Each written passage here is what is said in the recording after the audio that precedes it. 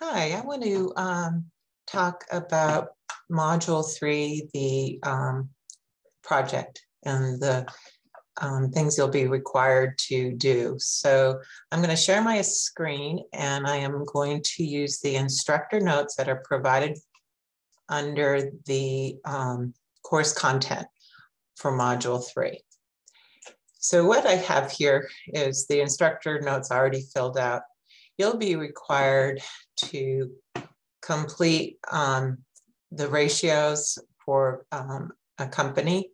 When you open up your project, it's extremely important, as I think you know by now, to read the instructions. And one of the first things you're going to be doing uh, once you've saved your uh, file onto your hard drive is to enter your eCampus username. Again, don't capitalize, no spaces, no uh, at mix. It's not an email, it's your username.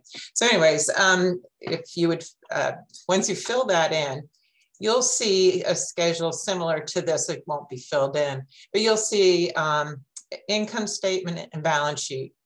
And then you'll be asked to calculate other ratios besides what I have here in the notes.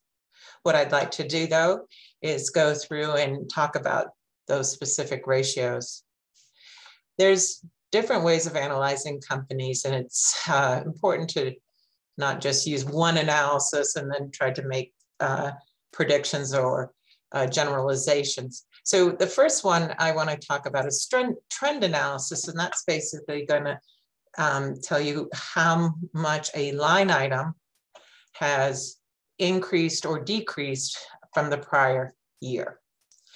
So in this example, now I am going to delete this one so you can see how it's calculated. But in doing this, you're basically going to equal, enter equal, and then what we want to do is see the change. So I'm going to take the current, the most recent year, and subtract from it the prior year.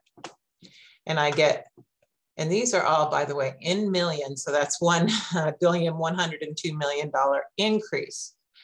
Now, dollars are uh, less useful uh, when you're trying to make comparisons to different size companies. So it's important to express it as a percentage.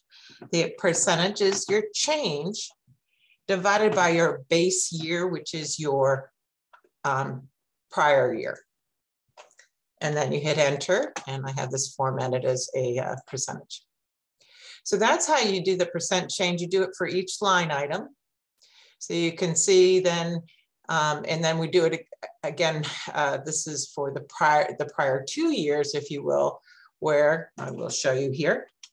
You're taking your, again, to get, get, get it so you can see how to do it.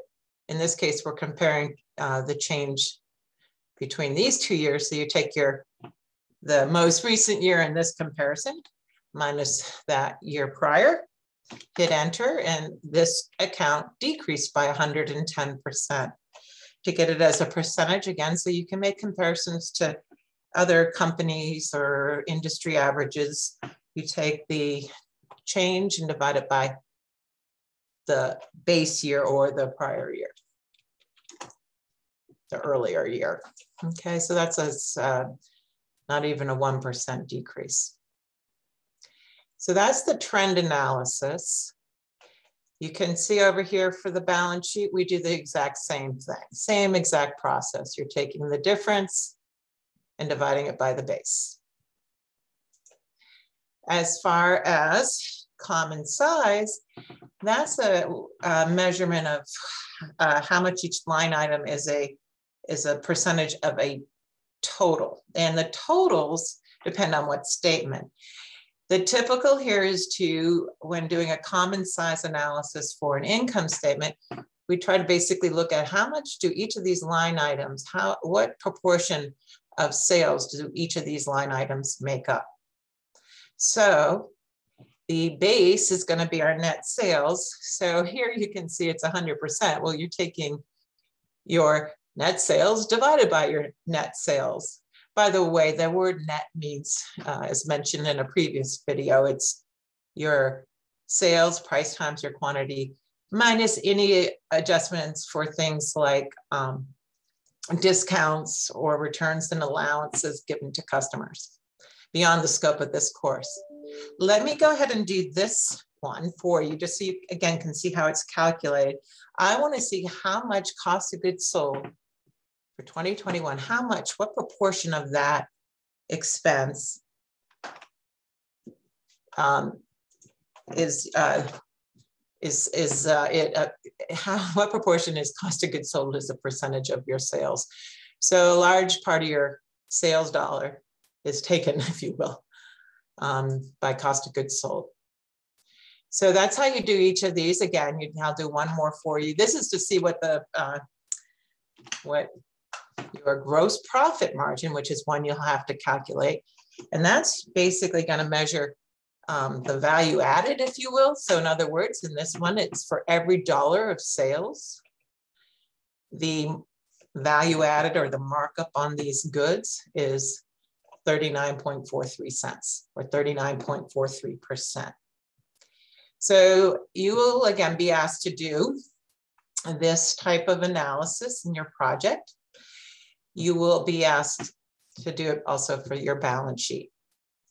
In the um, project, you'll be asked to do specific ratios, which I've covered in a previous uh, video. And you also have how to calculate these ratios in these in the class notes as well as the text and uh, both under the course content for module three. I do want to mention one, one other thing is uh, the current ratio, it's basically telling you in this example, Orange Republic has $1.80 for every dollar um, of bills or obligations the company has coming due within the year or having to satisfy within the year.